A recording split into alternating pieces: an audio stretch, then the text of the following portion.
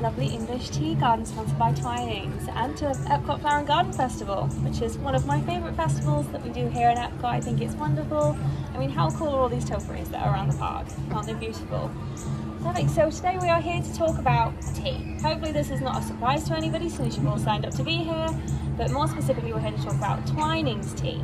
Now, as we can see just behind me, we've got Big 1706 here. That is when the company first started. So Twinings has been around for a very long time. When it first opened up, it was as Tom's Coffee House. That's right, coffee, not tea, because back in those days, coffee was the more popular drink, and tea kind of rose to fame, which was when they turned it into Twinings of London Tea Shop, which is still there now. The original store is still there. You can still go and buy things, and it's a very, very small building from the front because they were taxed on the size of the like the store fronts rather than the actual dimensions of them. So if you walk through the store now, if you do this, you're probably going to knock all the tea off the wall. So it's a really interesting building to visit if you're in London. It's on the Strand, and yeah, it's definitely worth a trip there. They've got some really interesting flavours of tea in there. Speaking of flavours of tea, Twinings has over 500 different blends, variations, combinations, and we're going to be talking about all of them today. No, we're not. We only have a really small garden. We'd be here for a very, very long time. It's very hot outside. I don't want that. You don't want that. So we picked 12 quite various different ones. We've got black, green, herbal, and a few bonus ones at the end. And if we just look around the garden, these teacups are going to represent our teas that we're going to be speaking about. So with all these teas, the people that are in charge of them are called tea blenders, master tea blenders.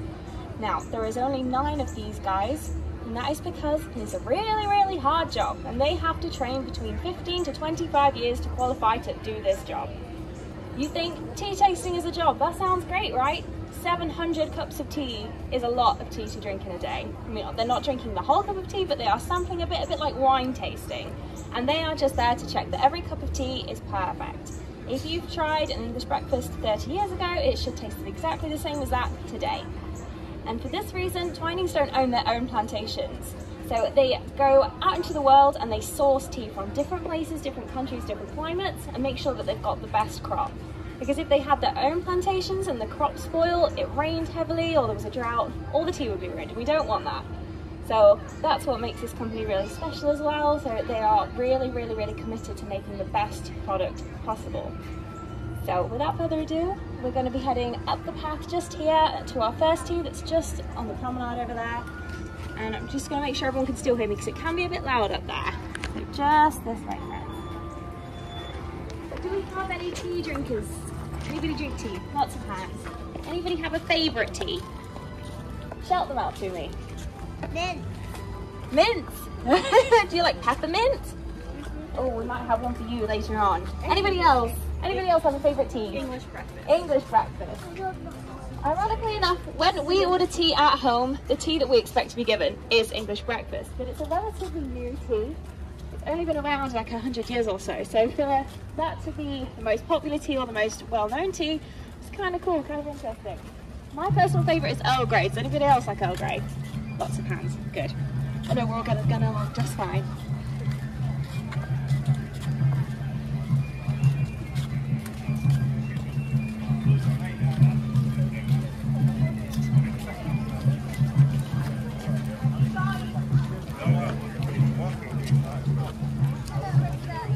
Have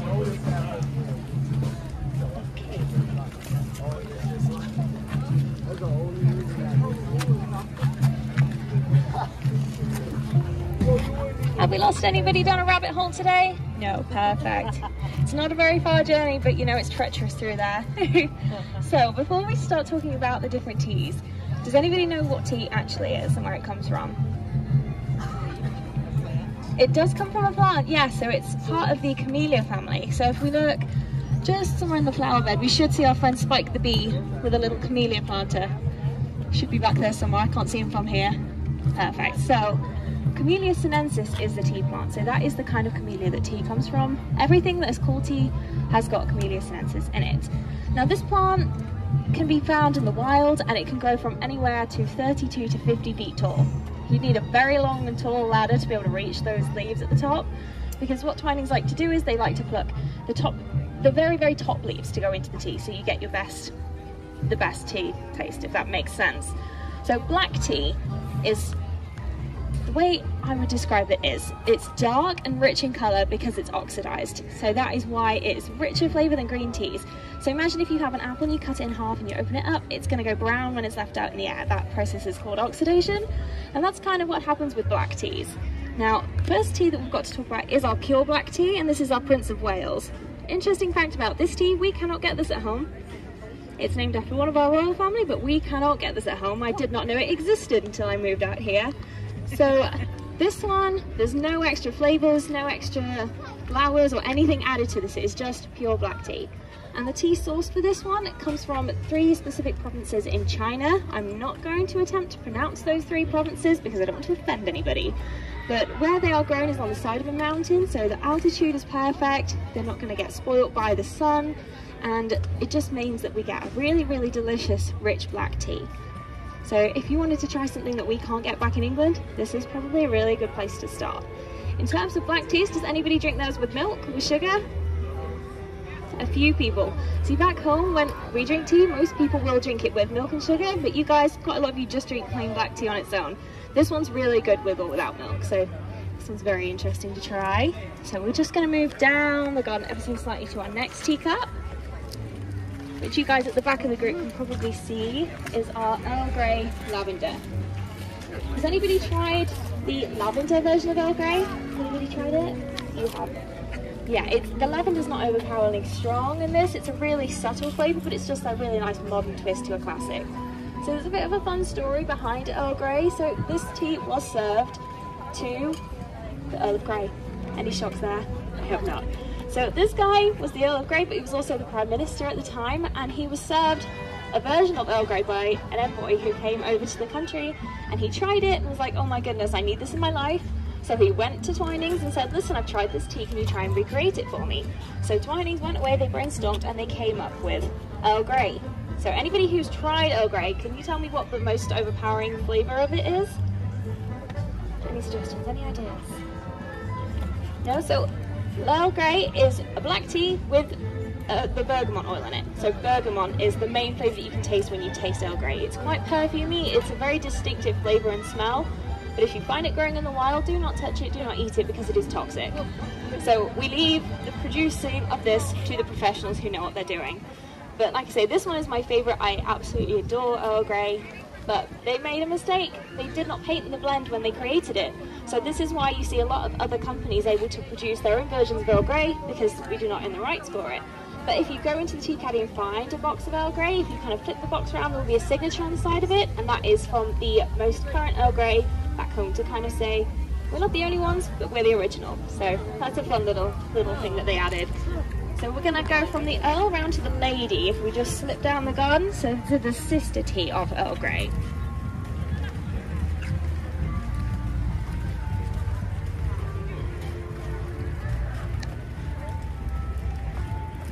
just here.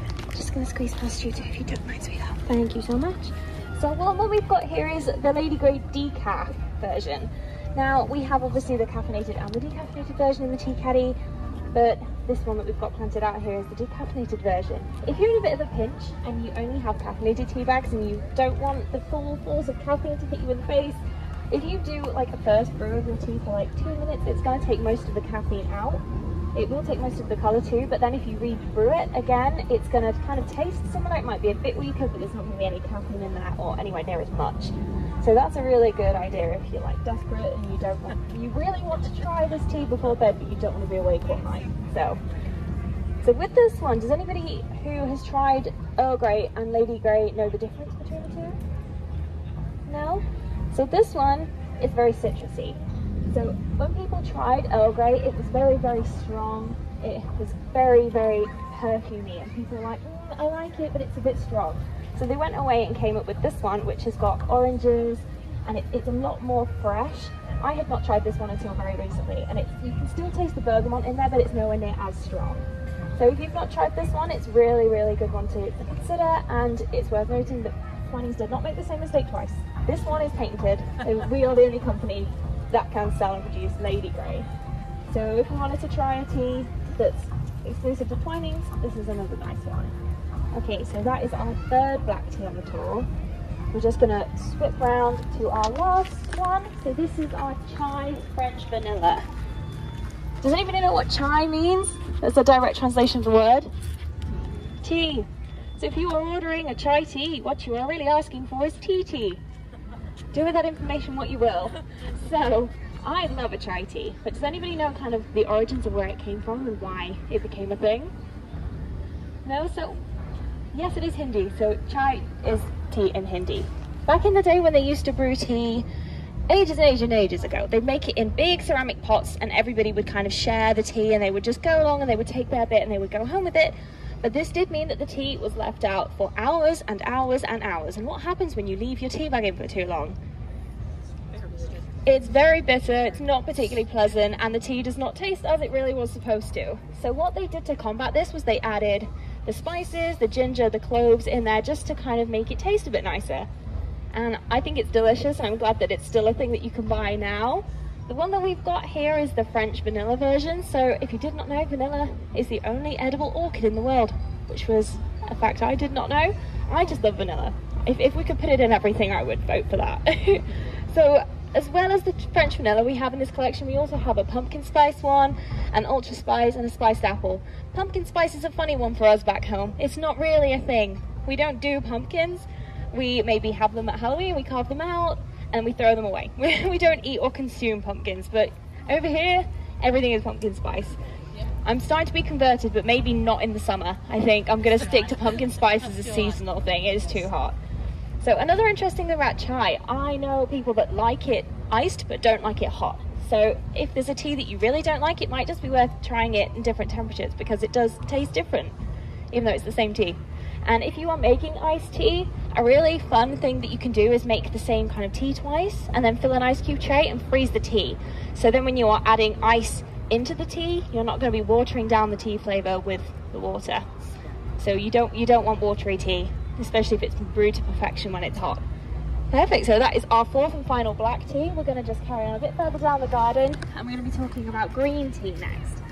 So we spoke about how black tea is oxidized and that what gives it its dark color and its rich flavor.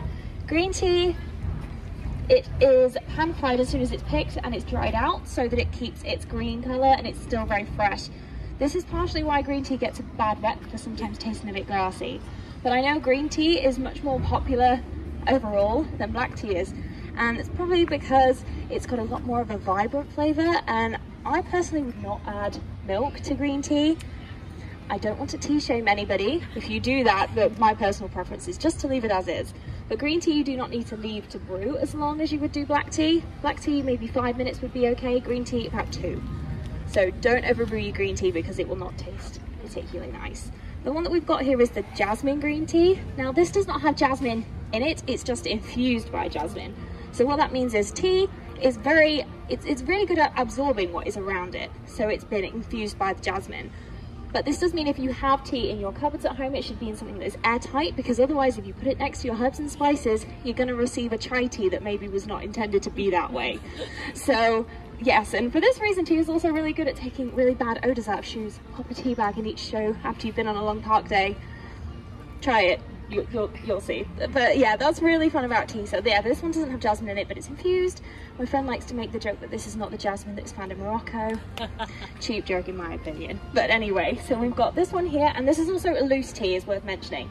Loose teas, you're gonna need one of the strainers that you can buy. You, you don't wanna just put tea leaves and stir it yeah, it is gross. Yeah, we've all been there, we've all made that mistake. But yes, I don't believe we have this one in bag form. But if you want to feel a bit fancy, we've got nice tins that have got twinings on. They look beautiful wherever go. Okay, and we're just going to turn around and this is our next green tea. This is the pomegranate, raspberry and strawberry green tea. This one was kind of created for the consumers. They said, we want we want this tea that's going to be fruity, fresh, it's going to be delicious. And Twinings were like, okay, here you go. Now this one is really, really, really, really, really good iced. I've actually not tried this one hot yet because it is so good iced. Because it's very naturally sweet from the berries, it doesn't really need any extra sweeteners added to it either. And also because green tea does contain the Camellia sinensis, it is caffeinated still, which I think some people get a bit confused between green and herbal, but green teas do contain caffeine unless it states otherwise. So this one's really good. You're gonna get your caffeine kick, but you're gonna have something that's very fresh. And so yeah, this one's really good for the summer. So moving on from green tea to herbal teas. And like I said before, herbal teas, they're not actually tea because they don't contain any of the Camellia sinensis plant. So therefore these are great to have at all times of the day. And because they don't contain the tea leaves, you can do anything you want with green tea. You can put anything in it. No, herbal teas. There I'm getting confused. Herbal teas. You can add flowers, spices, herbs, anything you want. The first one we've got here is the pomegranate and raspberry. So similar flavours to the one we just spoke about around the corner, but this one has got licorice and chicory root in it. Chicory root is really fun. That one tastes quite nutty. It's used in cooking quite a lot and it's a really rich flavour. This one I know is probably the fan favourite from all the other guys that do the tea tours. Everybody seems to love this tea. It's a really fun, bright, vibrant red pink colour and it's really delicious. Yeah, again, very, very sweet. So we've got a sweet herbal tea, and then on this side we've got one that's a little bit more spicy. So this is the orange and cinnamon spice herbal tea. This one has got a base of rooibos. Does anyone know what rooibos is? Or what it translates to? No? So rooibos is, oh, Alice knows. Good, I'm glad you know. Thank you for being here. So rooibos is direct translation to red bush. So red bush is a very, very red tea now, another thing that I would normally say, don't add milk to herbal teas, but I have had rooibos teas and I do choose to add milk to them. So this one is really interesting. So the, you would think with it having cinnamon in it, it would be really overpoweringly strong. But cinnamon that is in this one is blended with the orange, which is orange peel and zest. So if anybody, do we have any bakers here? Well, no, when you add zest and peel of oranges, it's going to really pack a punch. So for that reason, this one's really well balanced and it's really delicious. This one would be kind of more of a seasonal choice for me. Again, you guys do pumpkin, we do cinnamon in autumn. Really, really tasty. But I've also heard that this one's good iced as well. And probably for this reason, this is probably one of the most popular teas we sell because we seem to nearly always be out of stock of it. So if it's in there and you see it, I would probably grab a box because, I mean, the sales say for themselves. People know what they're buying, and what they're enjoying. Okay, so we're going to just move around the corner past Poppins' lessons window. Anybody who gardens? One, yeah. Do you have peppermint in your garden at home? No? Oh, oh yes. Okay, perfect. So our next tea has got peppermint in it. So this is our buttermint. Anybody want to take a guess as to what the other flavour in this tea is along with the peppermint? yeah, you're laughing at the trick question. so this has got my favourite thing in it. It's got vanilla in it. So this was named after, we have hard candies at home that are called buttermint. So this is where this gets its name from. And also because Twinings like to make a joke about it being so smooth, it's like butter. I think that's a terrible pun, but you know, who am I to guess? Engaged. So buttermint is actually a really interesting tea because I love peppermint tea. But sometimes it's a bit harsh and a bit strong. This one is really mellow, it's really sweet, it's really delicious, and this is probably my favourite tea on the tour that we've got here, specifically herbal teas anyway. Me and Alice drink this all the time at home. This is probably the one that we, we consume the most of. And I know this one is also a fan favourite with the lions at Animal Kingdom. They give them peppermint for enrichment and they love it. So if it's good enough for the lions, it's probably good enough for us. And another thing, sometimes when we're out of buttermint and you see, you're looking at all of the other teas on the shelf, there is a tea called Peppermint Cheer. And that is the exact same tea that they made for Christmas that they just stuck a few snowflakes on so if we don't have one, grab the other. I promise they're exactly the same. And it's just, this one's really great all year round. You know, peppermint we have is like candy canes and things for Christmas. But like I say, I do enjoy peppermint all the time. Now, when I drink a peppermint tea, it would probably be because I don't want something heavy as black tea, or I just want something that's a bit fresher.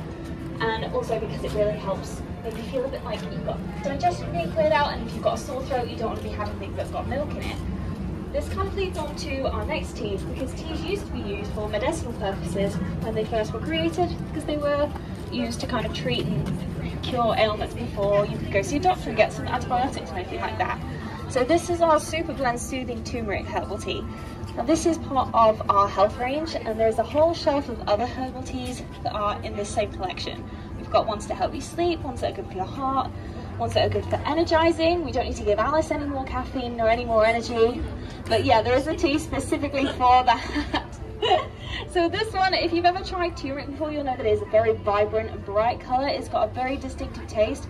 But this is blended with, uh, I think this one's got star anise in it, yes. So there's kind of a weird licoricey taste, but it's actually surprisingly delicious. I know a few people that drink this just because they like the taste of it, not because it has got medicinal purposes. But this one, turmeric, is really good for digestion. So people like to say that you have a cup of this before dinner, and then you have a cup of peppermint cheer after dinner. So kind of, that's kind of how we word that one. But I have not tried this one yet, but with all the rich food that we consume here, I think I'm gonna need to start introducing it because food here is a lot. so this is our 10th, 10th tea, and these are our last two just here. If you guys wanted a bit of shade, feel free to stand over there, or there's a little bit here. I know it's very hot outside. So there's these two here, kind of for your guys' brief, because back at home, we don't really drink iced tea. Nearly all the tea we consume is hot, whereas here it's the complete opposite. I think someone told me it's 80% of tea consumed here is iced or cold, which if you told people back home, they would be scandalized. So this, yeah, this one here is really interesting because this is actually also technically not tea. So this is cold infused. So this is gonna take flavors of like berries and flowers and it's gonna infuse the water.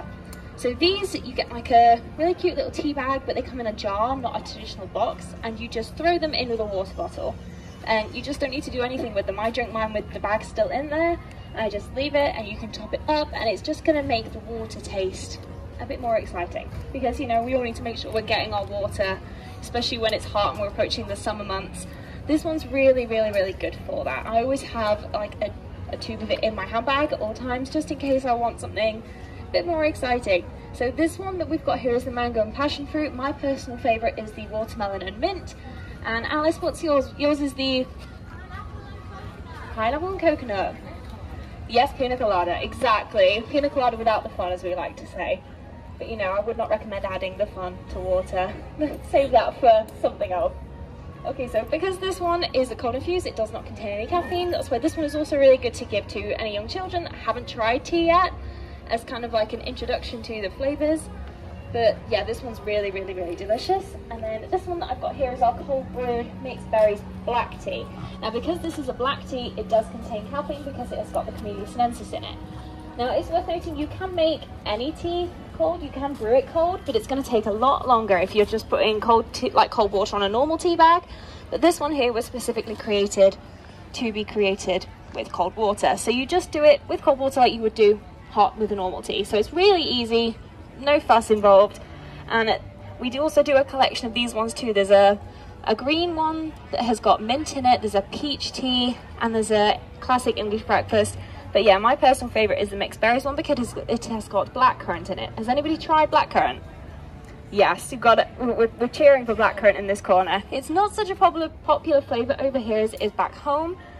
Someone told me that it used to be illegal to consume or grow blackcurrant here, which is wild to me because we have it in everything back home. Jams, jellies, desserts, and we also do a juice that we call squash back home and it's just kind of like a diluted juice that you add water to and it's super delicious. But yeah, this tea is still gonna give you your caffeine fix, but it's gonna be super quick and easy for a hot day like today, so you don't need to prepare it ahead of time.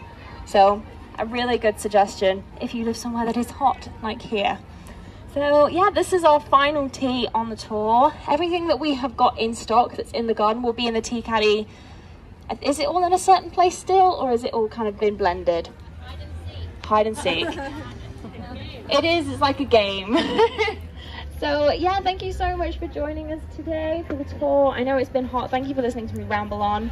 If on your way out you just give Alice your little tags that you've got, she's going to give you some samples, like a little fairy at the back with all the gifts.